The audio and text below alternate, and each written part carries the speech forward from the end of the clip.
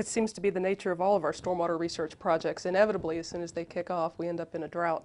And it's happened at least once before on a different project. All we can really do, and what we have done, is uh, extend, extend the sampling phase of the project hope, and hope we'll get some rain.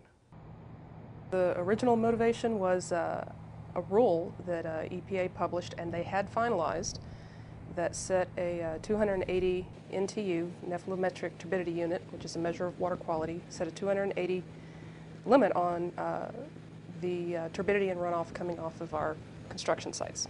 The fundamental problem with establishing a numeric limit for construction sites is that construction sites are hugely variable across the nation, uh, across different uh, uh, spectrums of industry, different types of construction have different issues with their runoff. Linear projects are different from box construction. Um, not to mention huge variations in, take soil type, in rainfall, in rainfall intensity and rainfall patterns, in the stage of construction. You know, in, in a certain stage of construction, you could expect a certain turbidity. In another stage of construction, you might expect something completely different. The biggest misunderstanding was thinking that uh, compliance with the CGP is all about your silt fence and rock berm. In fact, it should be about your erosion control. That, that's really the key element. What we're focusing on are the sediment controls, the silt fence and the rock berm. And those have a removal efficiency all over the board, but if it gets higher than 40%, I would be shocked. And a lot of times they're misinstalled and they actually increase erosion.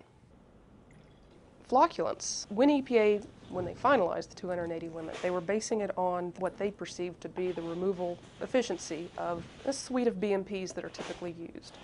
But they included the use of flocculants. We, we don't use flocculants and they're really not used much in Texas at all. It's a safe assumption that when they go back to the drawing board, they're still going to assume that flocculants are, are a, a viable pollutant control technology and, and that's going to lower the limit. They're going to propose a lower limit because they're assuming the permittees are using flocculant. Which means now we've got to figure out how and if we can use flocculants. There's a gazillion types. Some of them work only on certain soil types. Some of them are expensive. There's safety issues with some of them. That's another you know, arm of this research project is, is looking at uh, flocculants and whether or not they're feasible and, and how they work and, and how we would set up like specific, specifying them, that sort of thing or my concern is that um, no numeric limit is going to really be feasible, uh, possible to meet in all circumstances.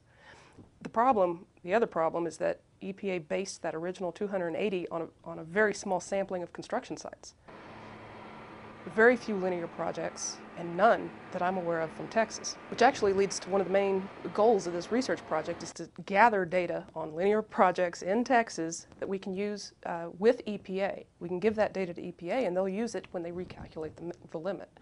So hopefully we'll end up with uh, a regulation that can actually be complied with.